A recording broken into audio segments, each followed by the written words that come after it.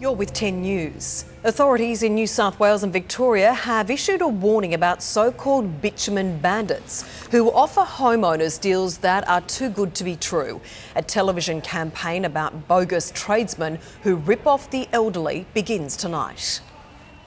Can you pick the con man? Right now, there could be con men in your town, in your suburb.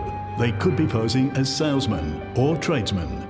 Consumer Affairs authorities in New South Wales and Victoria are warning homeowners to beware of con men and women going door to door or approaching them through letterbox drops. The gangs are more active in spring and summer, moving between New South Wales, Queensland, and Victoria. And you think, oh, I'll give these blokes a go, and not realising that they're uh, not fair income people.